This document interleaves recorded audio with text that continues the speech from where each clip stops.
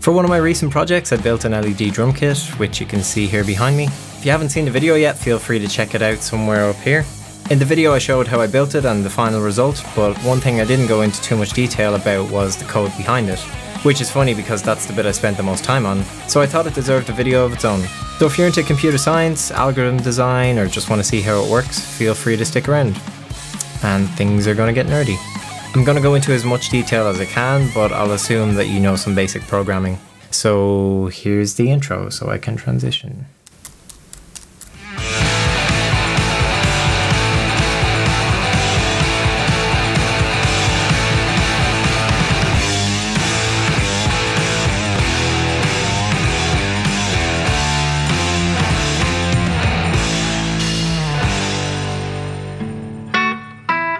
To recap the basic setup, we have an electric drum kit and a Raspberry Pi, where the MIDI output from the kit connects to the Pi and the Pi connects to the LEDs.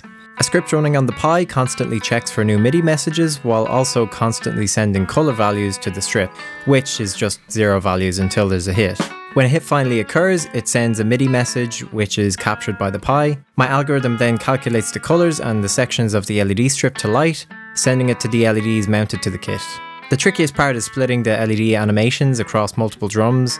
Just to clarify, this can probably all be done by an Arduino too. I chose a Pi to make use of some handy Python libraries for capturing MIDI and controlling the LEDs, plus I'm better coding in Python.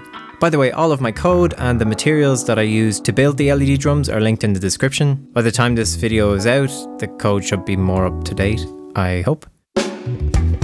So first thing we want to do is capture the MIDI messages from the drum kit. We just need to connect our MIDI instrument to the Pi. So I can SSH into my local Pi. And then I can use these Python libraries to help. Mido and RT MIDI. Now I already have them installed, so no need to run it.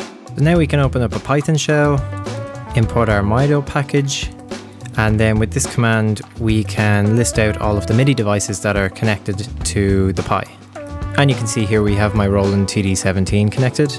With this name, we can open up a MIDI connection, mido.open, input, and then as our argument, we'll paste this name, call that import. Then we can use a standard for loop just to print out each message as it comes in. I just have to run over and hit the drum. But if I'm going to explain things properly, I may as well go all in. I warned you about the nerdiness. What is MIDI? MIDI stands for Music Instrument Digital Interface. It's a technical communications protocol or simply, it's a standard type of digital message which can be used to control audio, or in this case, lighting. So if we look closer at this MIDI note that just came in, this was a single drum hit on the electric drum kit's snare. We can see there's two messages, and if we look closer at the properties, we can see why. The first property tells us note on, note off. For a drum kit, this doesn't really make sense, but for something like a keyboard, this would tell us when we press down the key, and this would tell us when we let go of the key. Channel denotes which range of note numbers we're using. The next one is note, where the number tells us which pad we've hit, or for a keyboard it would be which key, etc. Velocity basically describes how hard it's been hit, and time I'm not too sure about, but that's out of the scope of this project. The only MIDI parameters we actually need for this are note number and velocity. The note number will be used to indicate which LEDs to toggle and the velocity linked to the brightness. Simply, harder hits are brighter. Now we have the notes, we need to map it to the LED strip, but there's no point in mapping it if we can't control the LEDs. The strip I chose is a WS2812B strip, a lot of numbers and letters that I don't know what they mean, but it has the capability of individually addressable pixels. To set up the basics for controlling them, I followed the instructions from this page, which is also linked below. This is just one way of doing it by the way.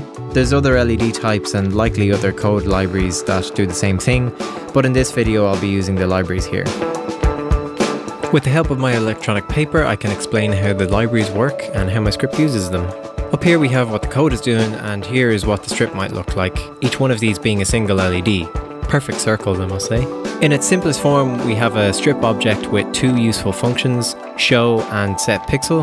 Set pixel will assign a color value to a given pixel. So for a strip of 300 LEDs, this needs to be called 300 times. This physically won't turn on the LED though. The color value is only stored in the object. The show method takes care of that, but there's a bit of a workflow to consider.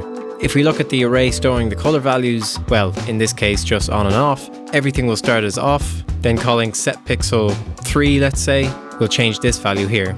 Now the show method comes into play. Calling it will go through each value in the array, and in this case turn on the LED in this position. However, one thing it also does is wipe all the previously stored values, which makes things tough when it comes to the drums, but I'll get back to that. To light a whole section of the strip, set pixel will need to be called multiple times before calling show.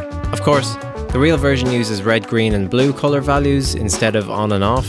That is, each LED unit has a small red, green and blue bulb, and together at the same level they make white. That's just basic color science. Now, for a whole drum kit, a single LED strip can be cut and rewired so there's LEDs on each drum. My code can then map which LED numbers correspond to which drum. Here, for example, if each pad has three LEDs, then the corresponding MIDI note for the pad will trigger set pixel for all these LEDs and then strip.show. In reality, it's more like 60 LEDs, but that takes too long to draw. To control the rest of the drums, we can just rinse and repeat, right? Well, no. That's where the value wiping becomes a problem. Think of the use case. Drums aren't all hit at the same time, the same drum can be hit within the previous animation time. The main reason for this being an issue with Python itself. Python itself is a consecutive language, that is, it basically executes code one line after another. So if we hit one drum, then the animation code needs to finish before the next animation will run. Every hit will just stack up and not be in real time. So there is a way to do two things at once with Python, by using a thread, a thread being a separate parallel running process. How about a thread corresponding to each drum? I thought this was an easy solution to the problem, but if a drum is hit within the animation time from a previous hit, then it's the same problem as before, they just stack up. Maybe in that case the code could just check if a thread already exists for that drum and then kill it before starting a new one. But putting out fires like that could lead to other issues in future. This solution could also lead to having as many threads going as there are drum pads, in my case 10. They are short-lived, but it's still not ideal to be using so many parallel resources. This approach would kind of be considered brute force, I suppose, making things work and then adding more just to solve issues as they arise. But there is one other issue that I've mentioned but not talked about in this implementation. All 10 threads are accessing the same resource. There's only one strip object in the code and each will call the show method, resetting and wiping the color values, which results in only one part of the strip being on at any time. I discovered this during the first testing and it ruined the cool effect, so back to the drawing board. Which led me to what I think is the perfect solution. A way to do it with only two threads, no matter how many pads. But before I explain it, I challenge you to come up with your own solution. Pause the video even, take a couple minutes and see if you can figure it out.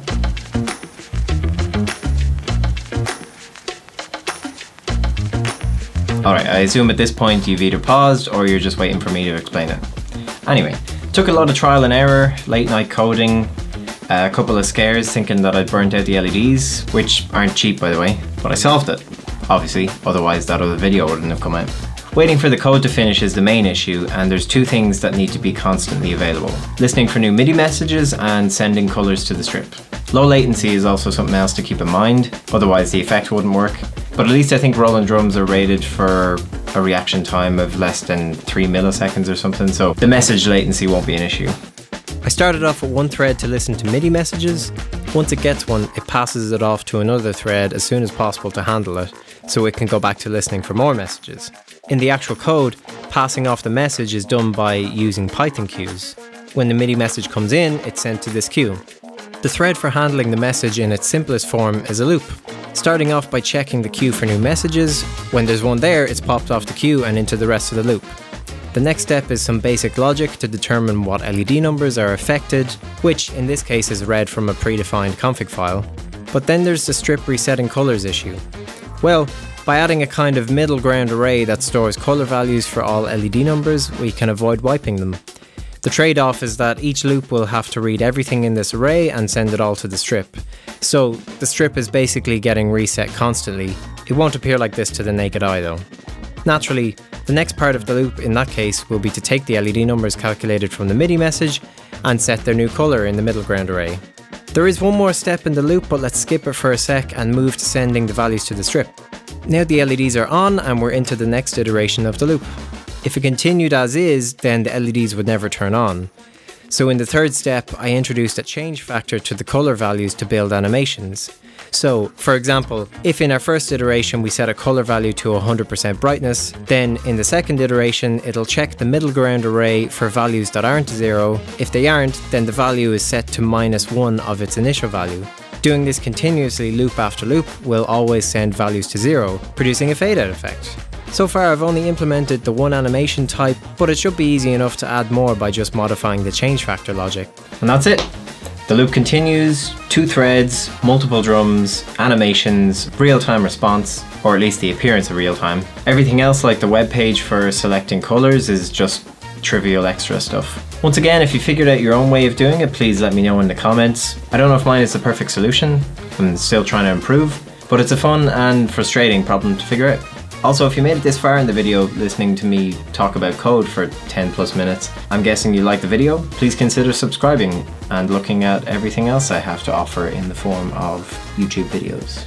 But an even better reason for subscribing is the LED drum kit version 2 I'm working on at the moment. This time I've enlisted the use of a 3D printer, I've got more LEDs and I'm adding it to my acoustic drum kit, so you're not going to want to miss that. But anyway, thanks for watching this and I'll see you in the next one.